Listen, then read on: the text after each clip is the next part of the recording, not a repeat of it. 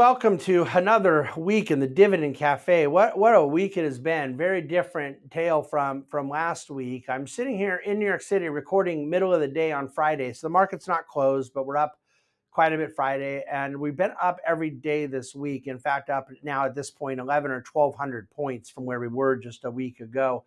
So you've had a really significant rally and it doesn't really make a lot of sense to say well it's because of the weaker unemployment number we had this morning uh, when most of the rally took place before this morning. And it doesn't really make sense to say, oh, it's because uh, Chairman Powell didn't sound all that hawkish on Wednesday because a lot of the rally had taken place before uh, then as well. Um, basically, with a variety of circumstances throughout the week, the jobs number, uh, the Fed's press conference, the different news events and earnings realities that came to fruition throughout the week.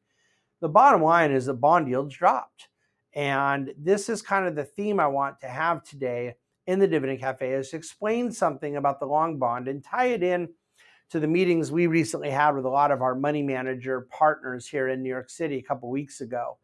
Um, if you look back to the market in September, you basically have now had a market turning down about a thousand points as bond yields went up about 30 or 40 basis points then a market very quickly going up about a thousand points as bond yields went down 30 or 40 basis points. Then over about a two week period, a market going down 12 or 1300 points as bond yields went all the way back up to 5%. And then now a market that is up 11, 1200 points as bond yields have come down 40 basis points or so. So if I'm doing my math correctly, you've had about four turns around a thousand points each in the market up and down around 40-ish basis points sometimes 35 sometimes 50 either up or down in that 10-year yield. So as bond yields go higher markets drop and as bond yields go lower markets go higher. And that correlation uh, between stocks and bonds is very profound right now. And yet it does beg the question with all these money managers around new york city asking what the fed will do and when um, I think that you can understand why, if as bond yields go, so goes the market. You have a profound impact to risk assets around what's happening in bond yields.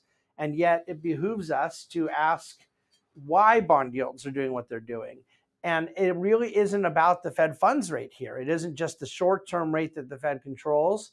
Um, the, most of this volatility has been in the long end of the curve. The 10 year bond yield is what I'm referring to as having gone up and down so much in the last, uh, let's call it six weeks. And if there is elevated volatility in bond yields, which there most certainly is, forget if they're going higher or lower. I'm not referring to a directional move up or a directional move down. I'm referring to volatility, directional moves up and down. Okay. If there's higher volatility in bond yields, there's higher volatility in risk asset prices, period. And that, of course, includes perhaps most uh, uh, prominently so the stock market. And I think that it might be useful to do a little primer on what the yield of the long bond is supposed to be. I think that there's a concept I want to use called term premium that's important to understand. You basically can give away your money for three months or, or overnight or three weeks, to some really short term rate to a fully 100% credit risk free a borrower like the United States federal government, and that's going to formulate what we call the risk free rate. And when you talk about the yield you're going to get to give that same borrower, let's call it the United States federal government, your money for 10 years, you're going to expect a yield that just starting off is equal to what you'd get to give it to them for three months. Then you would think you'd want more for the extra 10 years that you'll, or nine years and nine months that you'll be separated from your money. That's what we call the term premium, the premium and yield you want for a longer term. And so it could be one year that has a certain yield, and it could be five years that you would think would have a higher yield, and then 10 years. Now, in an inverted yield curve, everything gets distorted. Logic is off. People are making less money to be separated from their money for longer. And that has to do with the interventions that come from the central bank, and it has to do with economic recessions in the short term that are not expected to be long term. And so you get you get a lot of um, kind of just uh, think of it like a, a, a, an infection that comes into the yield curve until it is antibiotics clear it out. All right. Uh, when you when you get rid of this inversion, a term premium is just simply the reality of the fact that there's some premium someone wants to give away their money for 10 years versus three months. And what is that premium? Now, let's say you're expecting there to be 3% inflation. So your purchasing power is going to go down 3% per year over that period. You're probably going to want the level of inflation to be reflected in the yield. That you want to get your money back and it can still buy you at least the things that bought you before. And and and if there's going to be a period of economic growth, you have what's called an opportunity cost. You're giving your money to the government for 10 years, which means you're not going to have it to invest in new innovations, new um, products, new services, new companies, stock market, real estate, what have you. And so the expected growth in the economy, net of inflation, real GDP growth, you probably want to capture that in the yield. So when you talk about the inflation expectation and real economic growth, these two things put together are what we call, by definition, nominal GDP growth. So why don't we just say the 10 year bond yield is all things being equal, going to be equal to the risk free rate plus expectations of nominal GDP growth? Well, we basically do. That is more or less what I think it ought to be.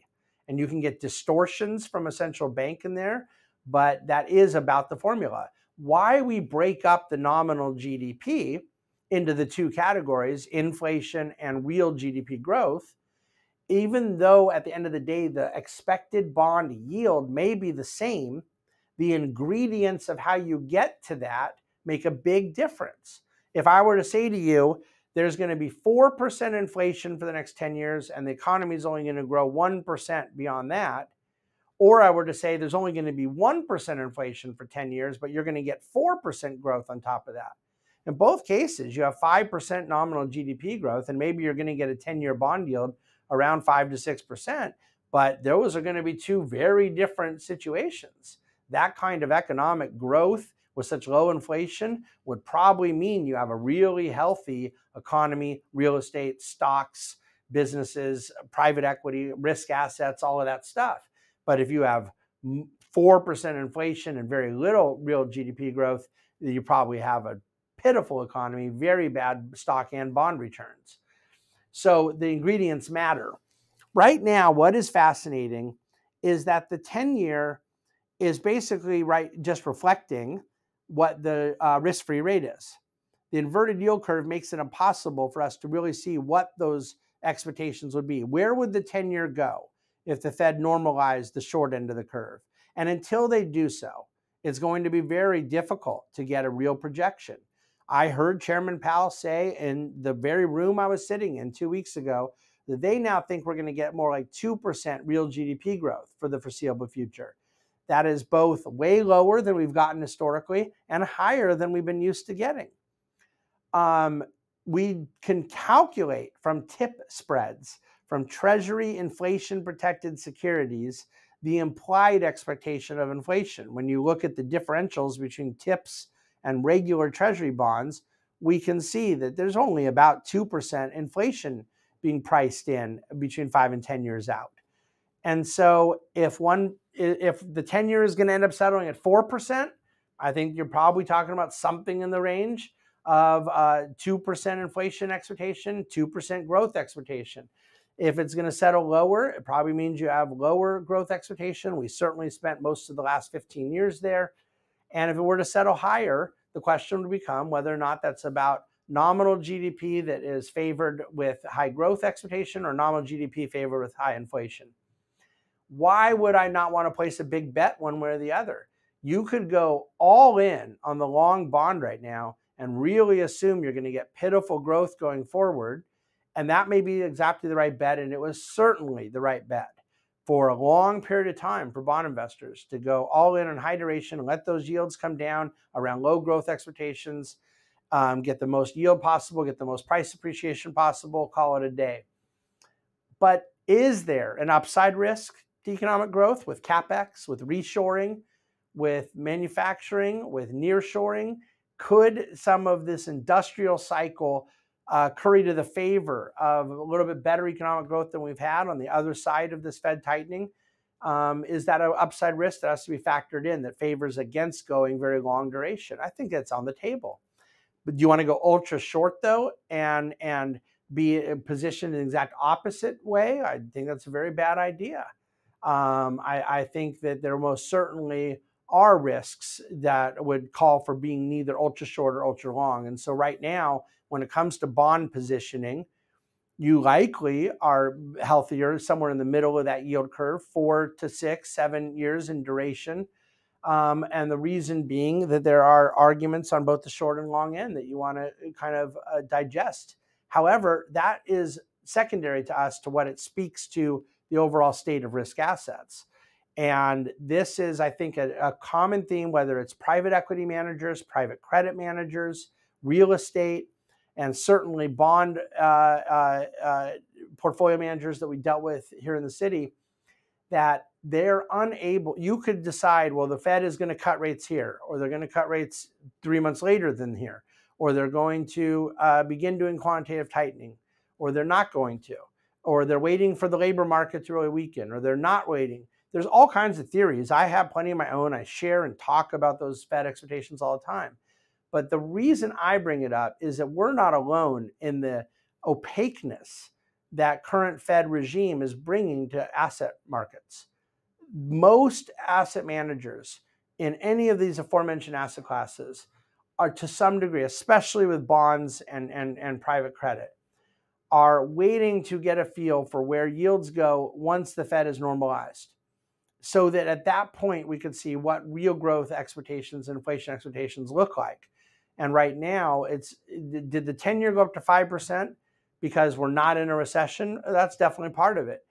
Is the 10 year going back and forth between five and four, four and a quarter, four and a half, up to five, back down, back up?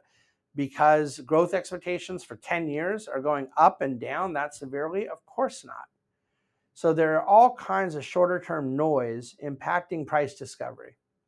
But the fundamentals of how a term premium are constructed don't change are we're just having to look at the fundamentals of term premium through glasses that are fogged up by an inverted yield curve. When that fog goes away, we get a chance to see those expectations. And in the meantime, investors, I believe, will do themselves a world of good by focusing when you're a risk asset investor on the underlying risk you're trying to be invested in, not the risk of getting right growth expectations, inflation expectations, interest rate direction, yield spreads, any of those things. Getting right the fundamentals of the businesses you're investing in, the underwriting that is a part of your private credit, the, the underlying asset quality of real estate you're buying. That bottom up fundamental quality approach to investing is so paramount right now. And even that is still impacted with noise, with valuations, with entry points by what the Fed is doing. But I think that when we meet with like our small cap growth manager and they don't bring up interest rates or bond yields at all the entire meeting.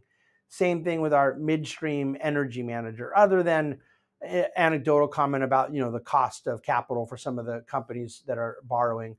Um, I mean, there's always some adjacent relevance, but the fundamental story that drives a long-term investment thesis cannot be centered around that noise that doesn't even allow us to get a term premium properly defined or understood or dissected, let alone conclusions you draw from that term premium. So I think we ought to be grateful that bond yields are higher and that you at least get some positive carry for where there's a portion of one's portfolio allocated in the bond market. And in the meantime, understand that so many other asset prices are dependent upon this and where you're dependent on valuations going higher, you're at the mercy of a certain outcome that may or may not be the case with this uh, fog over the long bond. But when you're gr- dependent on cash flow growth, fundamentals, eh, you know, let's just call it real enterprise, I think you've hedged away a lot of the noise of what the Fed does. Those are my big conclusions out of this uh, last four to six weeks of volatility. I believed all of these things for four to six years and four to six decades ahead of before that. But my point being, just in this microcosm of this highly volatile uh, six week period we've had with both interest rates and, and stock prices, um, you've seen a real application to it. So we're going to keep doing what we do. very beneficial meetings in the city and uh, grateful to use today's Dividend Cafe to try to reinforce a lot of these principles. I hope term premium, long bond, interest rates. I think I hope these concepts make a little more sense to you than they did 15 minutes ago. And we welcome your questions, questions at thebahnsengroup.com anytime. And certainly what we're trying to do by way of application through this moment. Um, the, the, these are the things we obsess with each and every day. So thanks for listening. Thanks for watching. And thank you for reading the Dividend Cafe. We hope you have a wonderful weekend. Look forward to seeing you at the DC Today on Monday.